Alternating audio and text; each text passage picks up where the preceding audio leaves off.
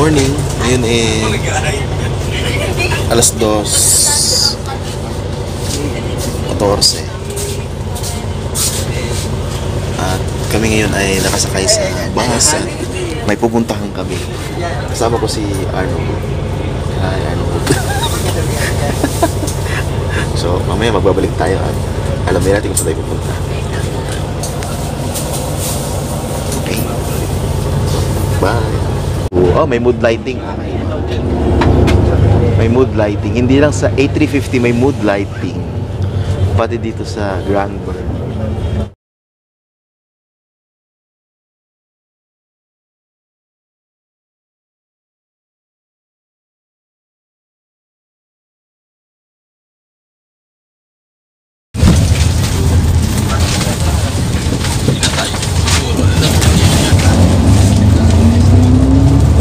6.11. Dito na kami ngayon sa may San Felipe.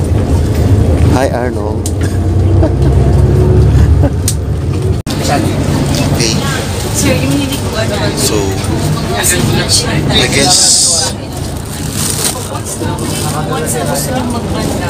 We're here. San Felipe. Welcome to San Felipe, Zambales. Ay,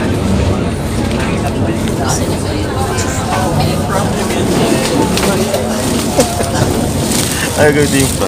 Kulog pula. Okay, Pula ako. dito na Di ba ako ka? Pula naman ako. Pati sapatos. Kasama akong outcast. Hindi siya nakapula. Nakapula lahat kami. So, Wala, hindi ko na naman kami sa may pula eh. diwa. Yung sandwich mo kunin muna. Hindi ko naman kasi And- alam na pula pala eh. Napaaga kami, wala para yung guide. 6.30 na sa aming ganun.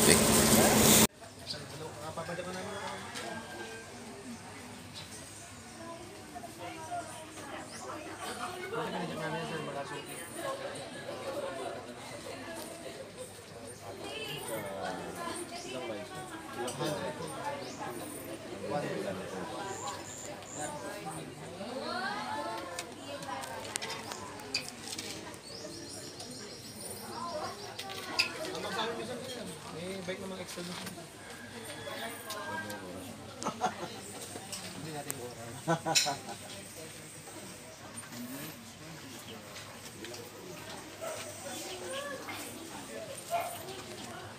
partner sa Tribes and Treks Tour is the LGU of San Felipe. So, um, ang Mad Travel po ang nag nag-handle ng lahat ng tour aspects of the tour or experience aspects.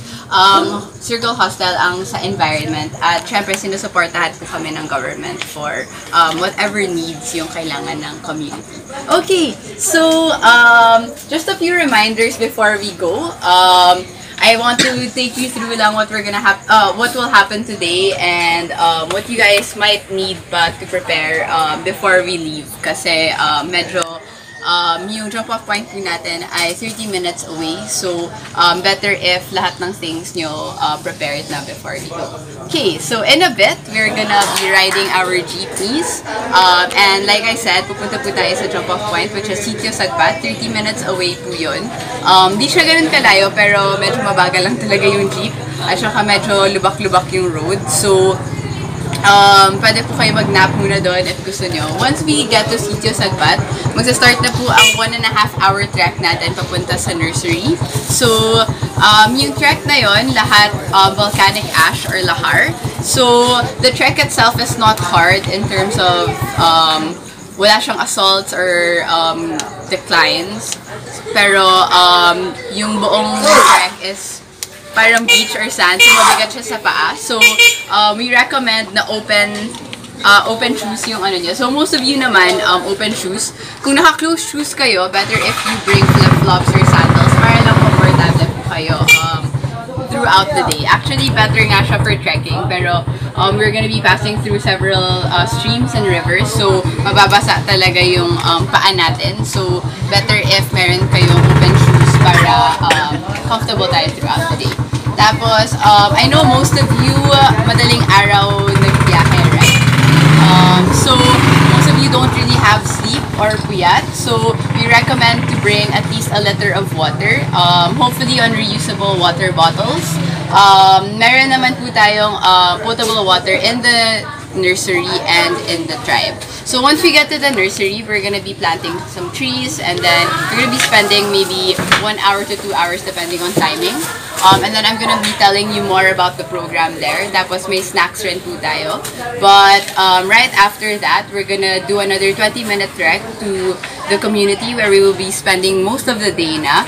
Um, the tribe will be cooking lunch for us and then we can interact with them and they can teach us um, native archery and then magpe-present po sila ng um, native songs and dances nila. So fair warning na pag nag-present sila ng um, native songs and dances nila, medyo naghihingi rin sila sa guests ng talents or performance. So, kung sino yung mga walang hiya dyan or mga talented, mag-prepare na kayo. Baka, baka gusto nyo rin mag-victory liner ano, uh, presentation, group presentation. so, winarn ko na kayo. Huwag kayo magulat pag namilit sila mamaya. Um, kahit anong talent, matutuwa sila. Tapos, after ng song and dance program, we're gonna trek back na po to the jump-off point, which is Sitio Sagpat. Um, get on the jeep and then we will be uh, finishing off with sunset at the beach um, near the chieftain's house and then very early dinner. So, after that, we're gonna come back here na mga 6 to 7 p.m. the latest. Um, so a few more reminders. It's gonna, it's bound to be hot. Um, right now it's not that hot yet, pero there's no shade at all during the trek.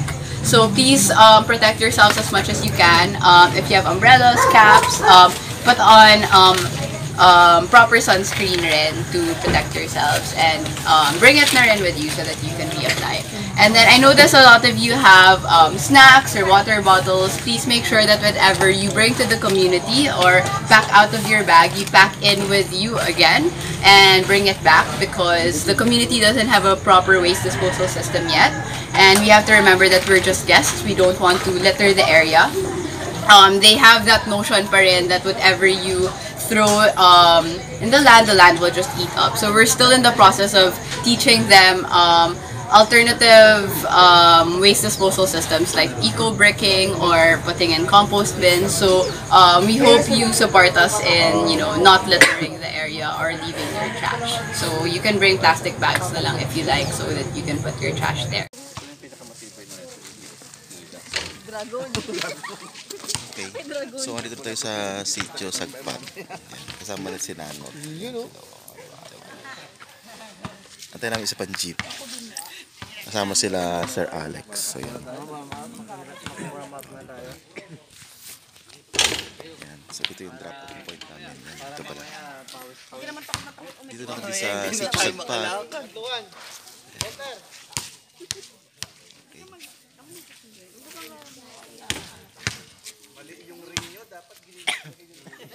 Ayan, sila Sir Roger. Naglalaro sila.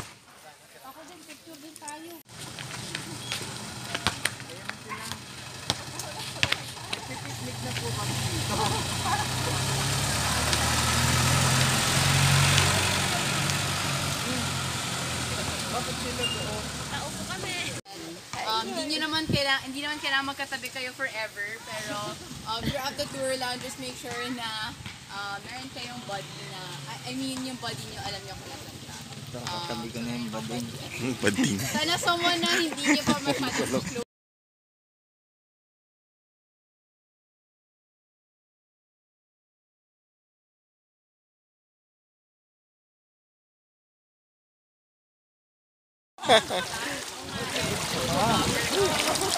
Hi, Nano. How are you? Ayan si Nano to. Nag-trekking mo siya. VIP, oh.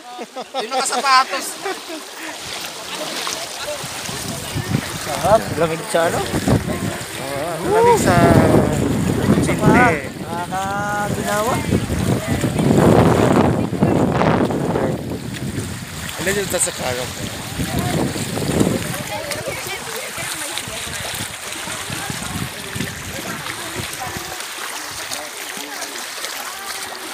Ito, ayoko yung naiipon sa gitna ng ng sakong yung ano. Okay, so tuloy-tuloy ang lakad namin ni Nanot.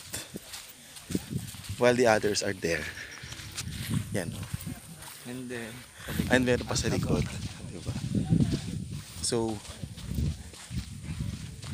Ayan yung bundok. Ayan yung bundok na nadadaanan mo pag pupunta ka ng Iba, Santa Cruz. Hindi namin nakakatin yan. Nalakad lang kami dito. Diba? Yung daan, oh, makita nyo. Talagang makakandaan yung tricycle tsaka yung mga kalabaw. Pero yung kotse mo ka mahihirapan. Ito yung nursery. So tumayo na kami ng isang ilog kanina and then meron pa raw isang ilog pa. And marami pa hopefully. Yeah. So stay tuned. May ano ba?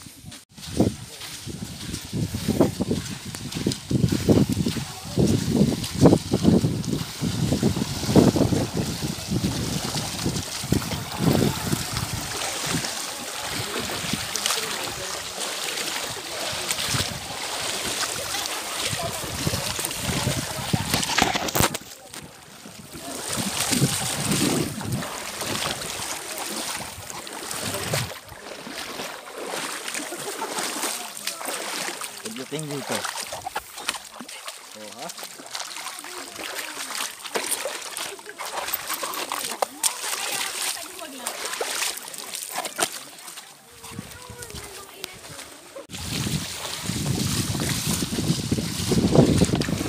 Ay, camera shy siya. Camera shy.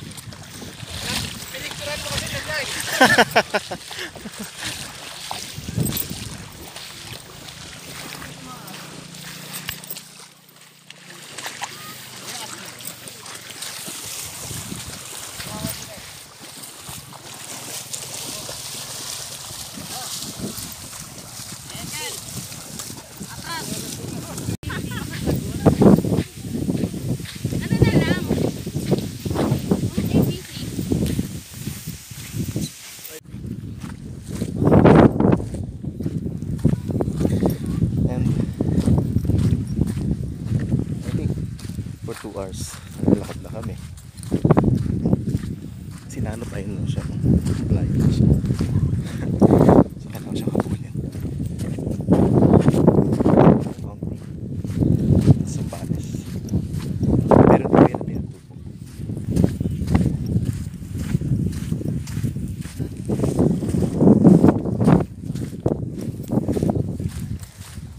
So, kanina nagpa tayo.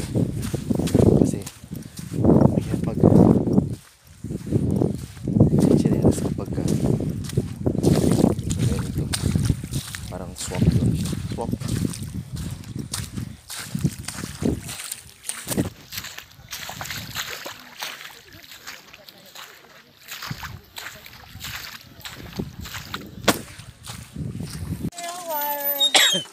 Fifty-nine minutes na lang. Okay, so 59 minutes lang? Nagpahinga yung kalabaw.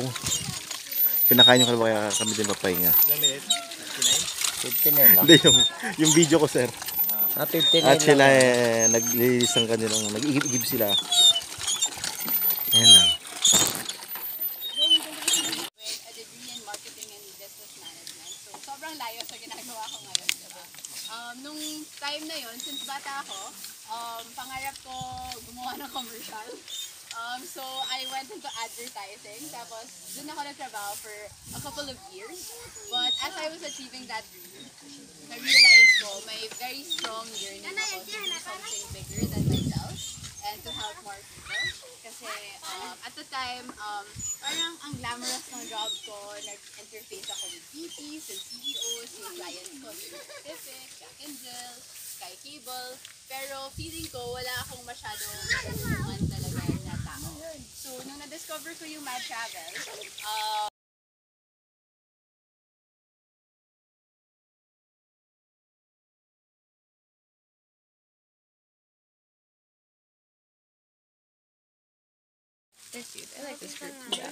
Yeah. Patas mo. can I use your thing? Papatas. Yeah. I wonder why. Asa salansan? Sir, 10-10 yan, sir, ha? Yeah. Ay, sorry, sorry.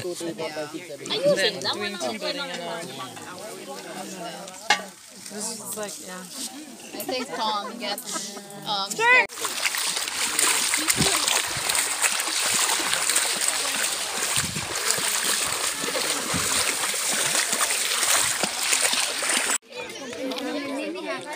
Ube ice candy.